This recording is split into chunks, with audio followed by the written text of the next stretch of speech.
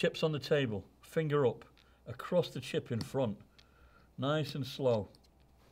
If for some reason you find that the chips end up maybe bowing slightly or leaning backwards, they're just plastic. Don't be scared to go in, give it a bit of a tap to straighten it up, and then once again, cut into the stack. You will be required to cut stacks down in fives and fours. Um, part stacks in fours also. You will be required to cut down chips when it comes to payouts in one, two, three, four, and five. So you really ideally need to get used to the feeling for five, which we just discussed, what four feels like, what three feels like, what two feels like, and what one feels like.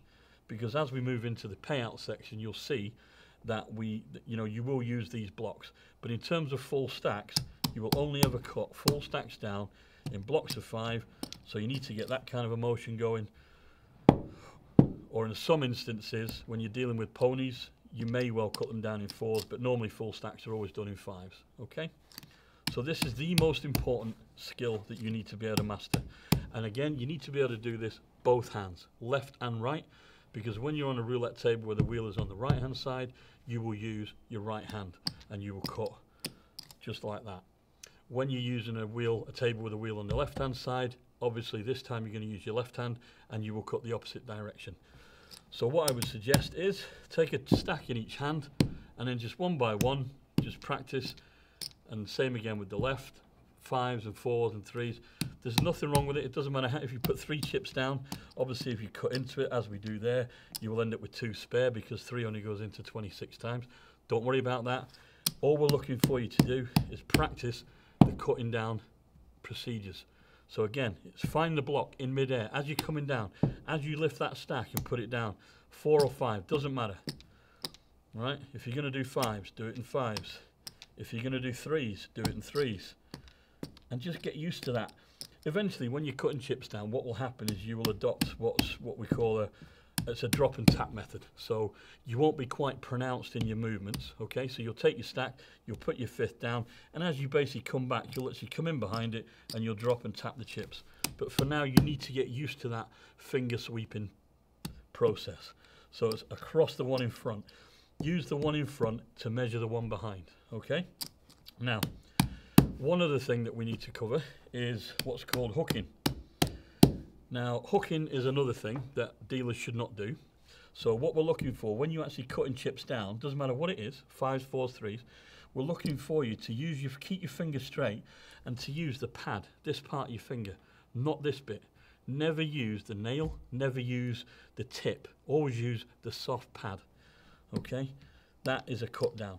What a lot of people tend to do sometimes, or quite a lot of people have done it, is it's called hooking. It's where you're basically using your finger here flattening it against it and hooking into the chips. It does work, but it's not what we're after. It's not what casinos don't like it. So get out of that habit. If you find yourself hooking slightly, if you find yourself hooking your finger, try and adjust, you know, change positions and try and use that pad, that pad there, the pad of your finger to tap in, okay? Um, worst case scenario, and I'll show you this because it happened to me as a trainee, is I used to hook chips with my left hand when I was a trainee a long, long time ago. And sometimes you can end up with an infection. Now my finger there has an extra piece in it with a vein running through it.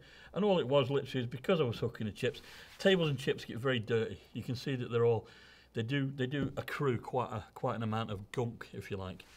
And you need to always look after your hands. You need to make sure your nails are clean. Make sure that they're cut down. You need to make sure you wash your hands okay? You're a croupier, these are the tools of your trade. Without your hands, you cannot deal. So you need to just practice the correct movement, the correct motion, the correct processes. Okay, it's always a, it's all about using the pad to knock into the next one. All right, and that's cutting down. We'll go into more sort of, uh, shall we say, more sort of advanced techniques later on in other tutorials. But for now, this is the most important one you need to master. So get yourself some chips and practice cutting down in fives, fours and so on until you can do it almost without looking would be great. Okay?